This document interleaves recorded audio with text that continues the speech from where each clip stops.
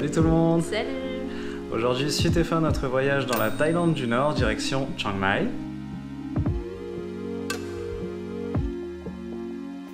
La première chose qu'on a faite en arrivant, c'est d'aller à Bosan, le village des ombrelles. On a été un peu déçus, il y avait pas mal de magasins fermés. Mais une fois par an, si vous pouvez y aller, il y a un festival qui est très joli.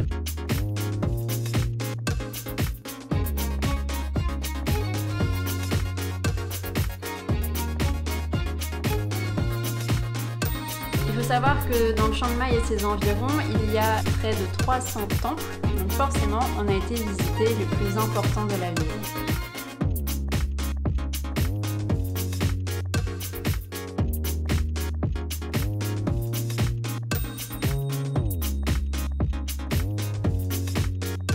Voici le Wat Prasing, c'est le temple le plus visité de la ville.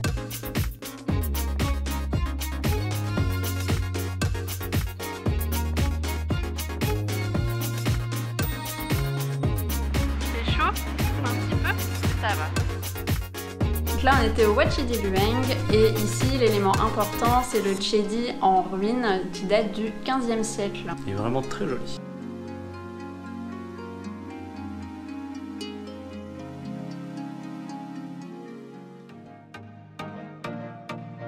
On a aussi été visiter le Doi Sutep, c'est probablement le temple le plus connu de la région. Il est situé en haut d'une montagne et il faut grimper plus de 300 marches pour y arriver. C'est un petit peu de sport mais ça vaut le coup.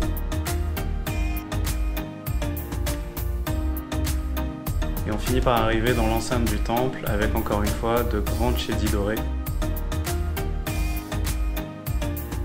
Très joli, très relaxant.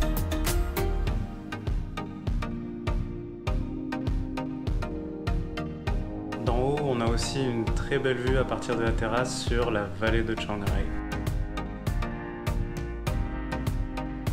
Ensuite, on s'est aventuré dans la forêt pour rejoindre un autre temple.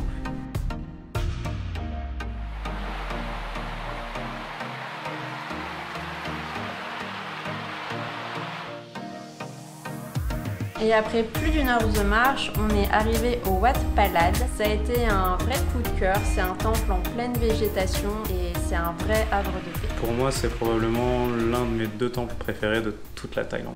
Et la deuxième étape après euh, Chiang Mai, ça a été d'aller jusque Pai, dans les montagnes. 150 km de route en minivan et euh, plus de 800 virages, donc euh, Léa s'est sentie un petit peu malade. C'était une sacrée aventure.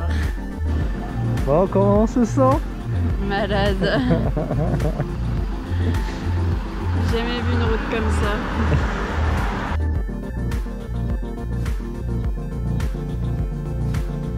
Pai, c'est un classique pour euh, les voyageurs qui viennent visiter la Thaïlande. C'est une ville qui est très jeune avec euh, beaucoup d'étrangers. Et c'est une ambiance très particulière dans les montagnes, c'est vraiment très relax. Moi j'ai bien aimé, hein.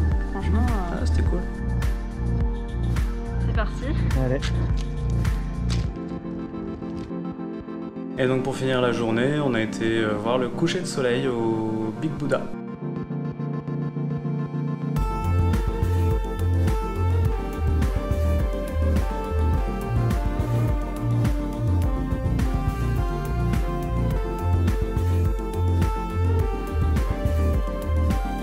Une fois très joli. Le lendemain, on a fait un tour guidé pour visiter les environs de Paille.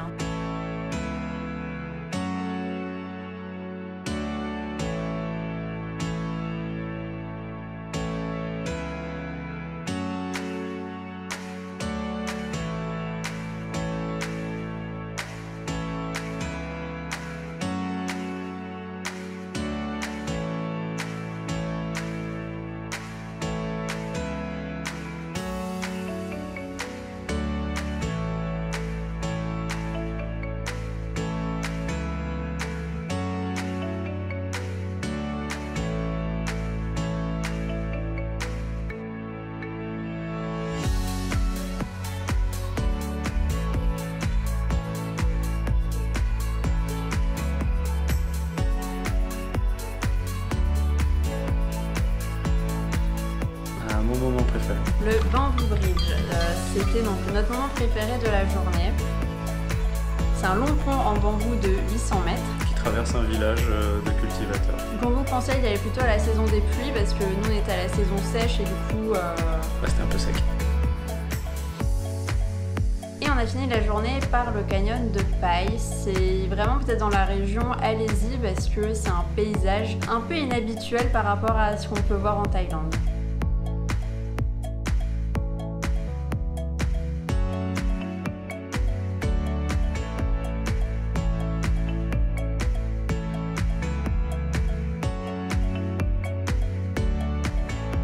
Encore une fois, tout le monde se réunit là-bas pour voir des jolis couchers de soleil. Et pour finir notre euh, périple dans la Thaïlande du Nord, la dernière étape était Chiang Rai.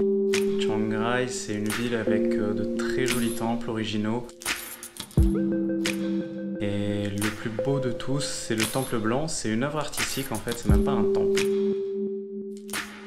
Pensé en 1997 par un artiste thaïlandais, l'œuvre n'est toujours pas finie aujourd'hui.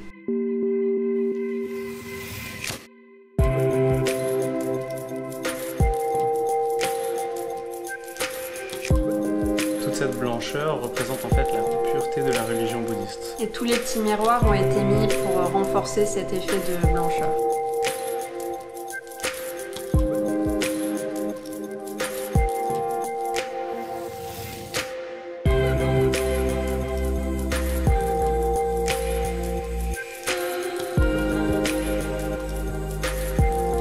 Le temple bleu est un autre temple important de Chiang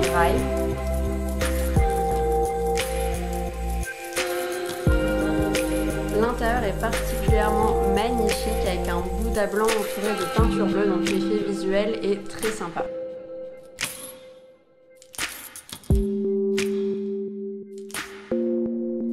Et pour terminer notre séjour, on a continué dans les temples de couleurs, donc on a fait le temple rouge,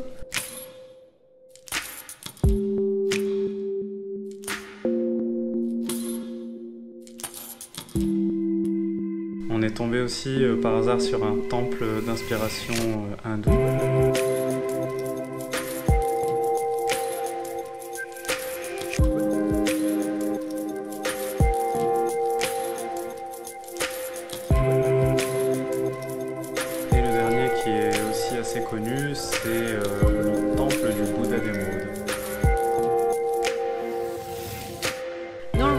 La fin de notre séjour en Thaïlande du Nord. On aura parcouru à peu près plus de 1000 km.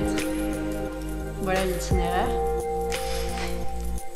En tout cas, on a vraiment bien aimé la Thaïlande du Nord qui est moins touristique que la Thaïlande du Sud, forcément. Donc ça veut dire aussi des prix moins chers.